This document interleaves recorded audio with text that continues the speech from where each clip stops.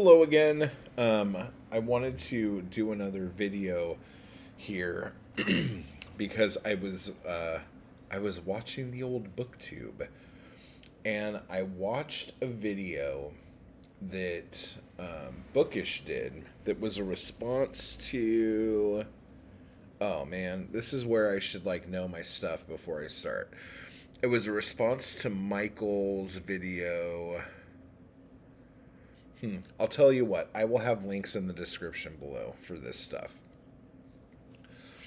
But one of the things that came up was um, the fact that um, as of, I think, 2021, um, only, okay, I'm going to paraphrase, like 25% of Americans have read or started to read a book in the last year and then the next thing that came up was um, people thinking that the books we were forced to read in public school um, have turned people away from the art of reading um, and the pleasures of digging into a good book. Now, I'm trying to think of where to start with this. Um, Bookish's video is really well done, and um, facts are a plenty in that video. So um, make sure you check that out. But um, one of the things that I wanted to say about that is that there are quite a few books that um, we were forced to read in um, school that um, actually boosted um, not only my love of reading, but my love of storytelling. and uh, I need a drink.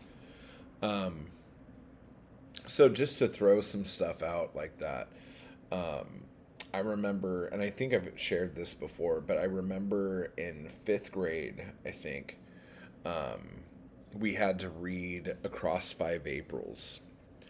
And I haven't read it since, and I keep saying I'm going to go back and read it and see what I think about it. Man, my hair is doing stuff today. Um, but I haven't gone back to read it. But it's like we were learning about the Civil War and stuff like that and the book is about um, the Civil War. And I just remember thinking when I was reading it, I was just so shocked that in a book all these things can happen. And um, it was just like for years, like fifth, sixth, and probably seventh grade. Like if anyone were to say, "Oh, what's your favorite book?" Oh, Across Five Aprils. Yes, of course, Across Five Aprils. Um, I really, really dug it a lot. And um, that got me just into not necessarily wanting to read more, but it got me into the idea that um, books like novels were interesting because I have always read like little picture books as a very small kid, comic books, and then um, as I was getting older, um, reading like uh, Shel Silverstein and Dr. Seuss and um, moving into like seeing the stuff my dad was reading, which was like um, like Stephen King and Clive Barker and Dean Koontz and um, he was really into Lovecraft and Robert E. Howard and stuff like that. So that's kind of how all that went. But um, it was really my education in public school that showed me certain things.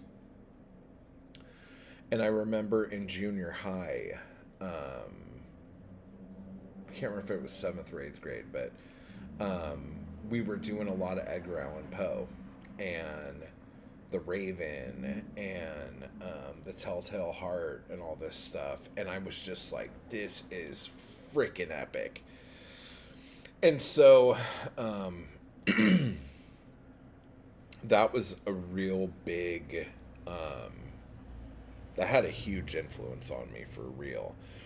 And I think what helped matters was that I don't know the exact date, but I think this might have helped. But um,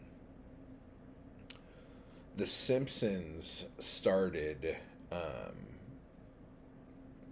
on Sunday nights after it was ripped out of the Tracey Ullman show and um, given its own show. I think when I was in sixth grade is when that like popped and landed.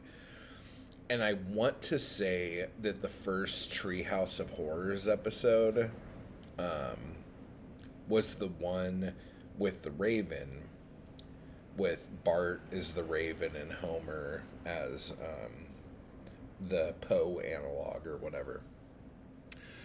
And I want to say also that that really helped my um, English teacher because everyone watched The Simpsons. Everyone.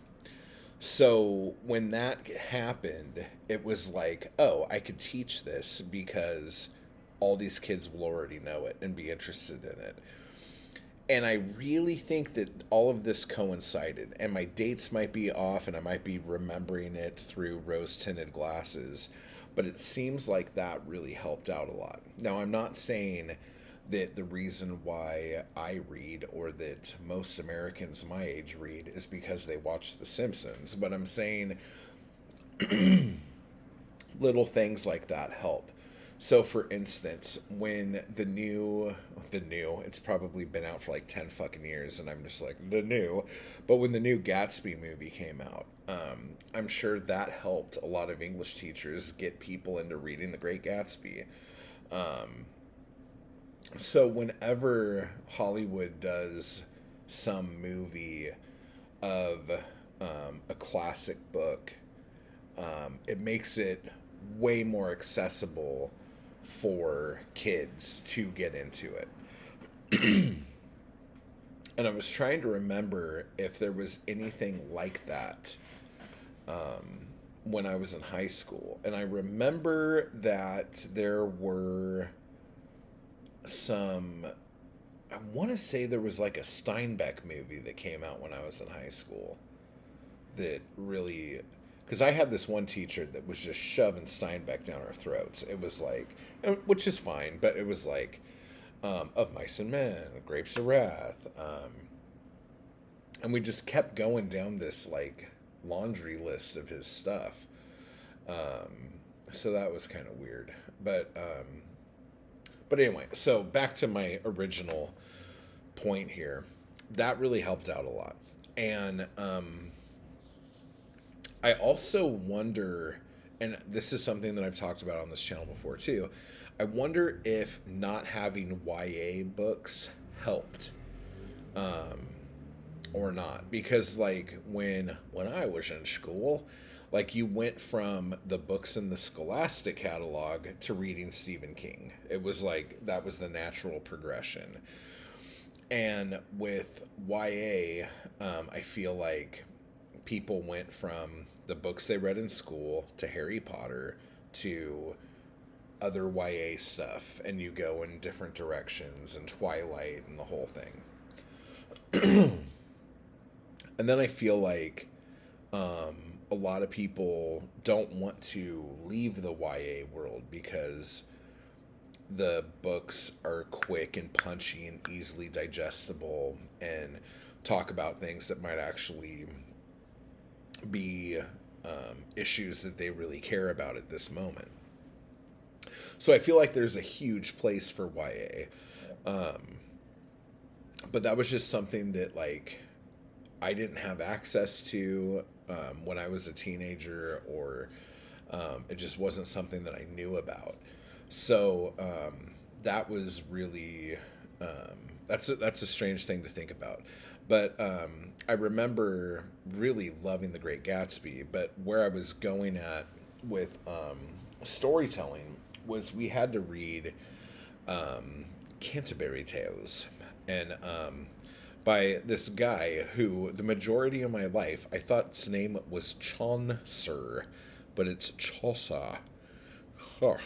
so there's no N in that. But um, I don't know why this book like made me so into storytelling. And I'm like, okay, wait. And this was like way before meta. So I was like, so you're telling me there's a book of a bunch of people like on a trip somewhere and they're just telling each other stories. So there's so there's a book of stories about stories is what you're telling me. And I was just like I was like this is the craziest thing I've ever heard of in my life. How how has this been kept secret from me for so long? And I remember um I can't remember whose tale it was. If it was the I, I don't even remember now but I remembered there was this one bit that I liked so much that I read it over and over again a couple times, and then in doing so, fell behind in class, and um, I was like three tales behind everybody else. And then I got scared, and when I get scared, I just end up doing nothing. I just like kind of panic and freeze. So then, um, like a week went by and I didn't do anything. And we were reading this book for like something like, I don't know, like a month and a half or something like that in class. And um, so, like every good kid does, I went and got the Cliff Notes of Canterbury Tales and um, read the Cliff Notes. And I thought the Cliff Notes of that book was the best book I've ever read. And I just remember, and I still have it somewhere. I still have the copy of the Cliff Notes. And I was like writing like what I thought like in the margins of it and all over. And last time I saw it, it was one of the times I moved recently.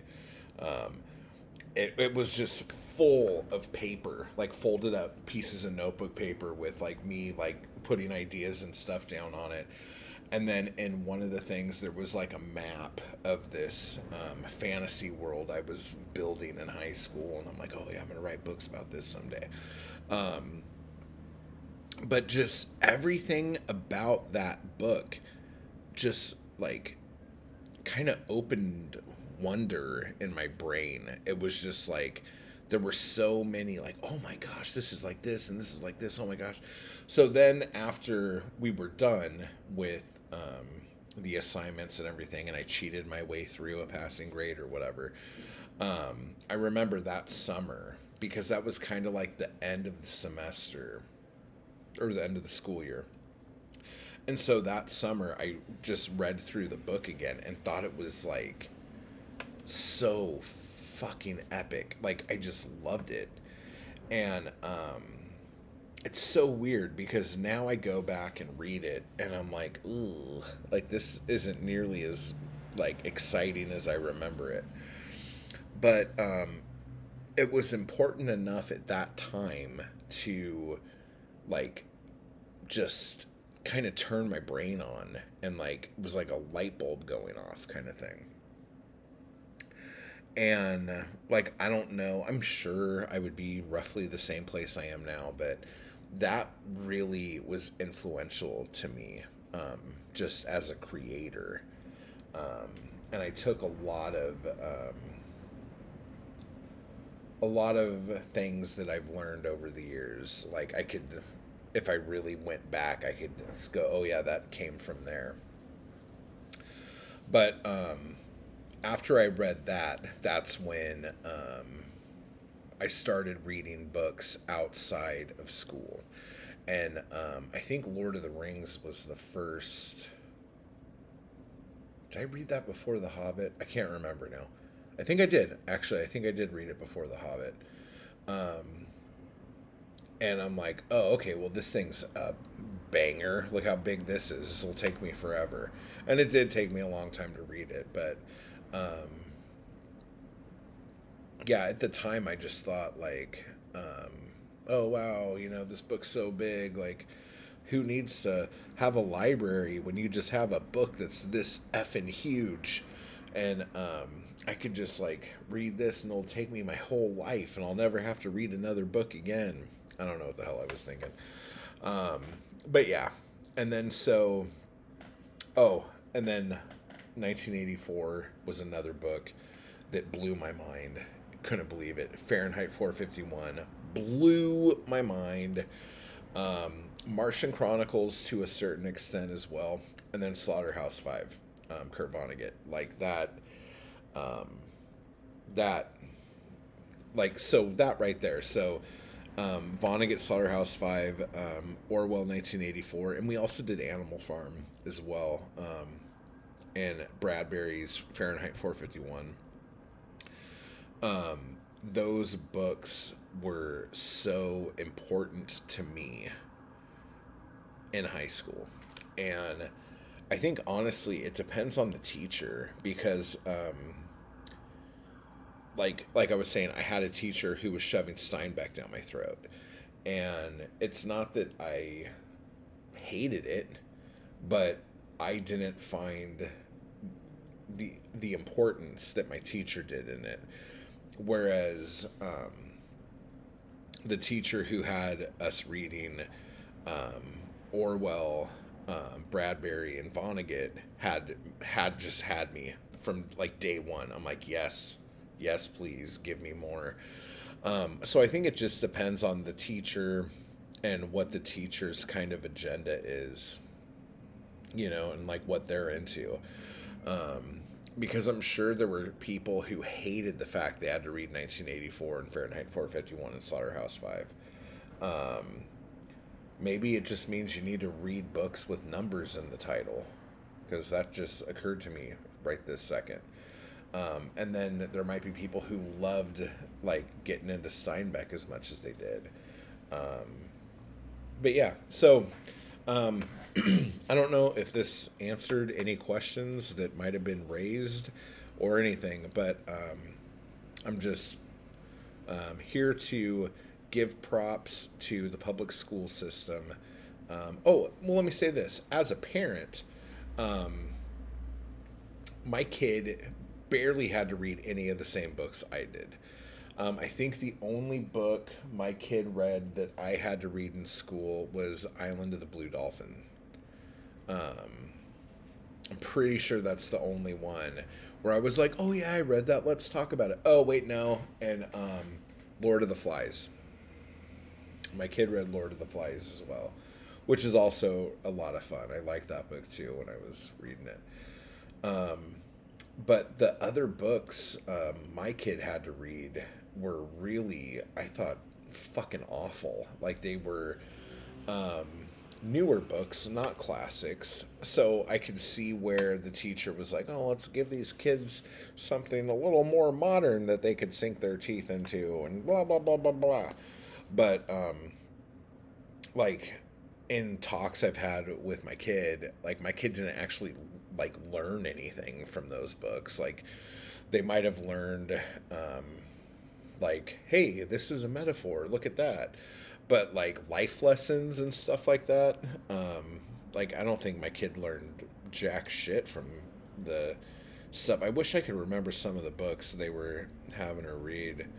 They were just like ludicrous. I was like, okay, whatever. but anyway, since I don't know what I'm talking about, I'm not giving good examples, so I'm going to stop that. But let me know down below what are some of um, the, your favorite books you read um, in high school. And Catcher in the Rye was another one that I had to read in high school, which shocked me as a parent looking back now. But um, in reading that book again as an adult, um, I don't like it as much but anyway, um, so what are some of the books you had to read? Which ones did you really like? Are there any that turned you on to reading? Were there any books that were shoved down your throat that you absolutely hated that are considered classics now? Um, there are some books that I've heard other people read in high school that they had to read in high school. And I was like, motherfucker, if I would have been forced to read that, I would have had so much fun. Don't know if that's true or not, but I would have enjoyed it. So, um, and if you have kids, what kind of bullshit are they having to read? Let me know down below. And um, go watch Michael's video and go watch Bookish's video. There will be links in the description below. And until next time, I will see you guys later. Bye bye.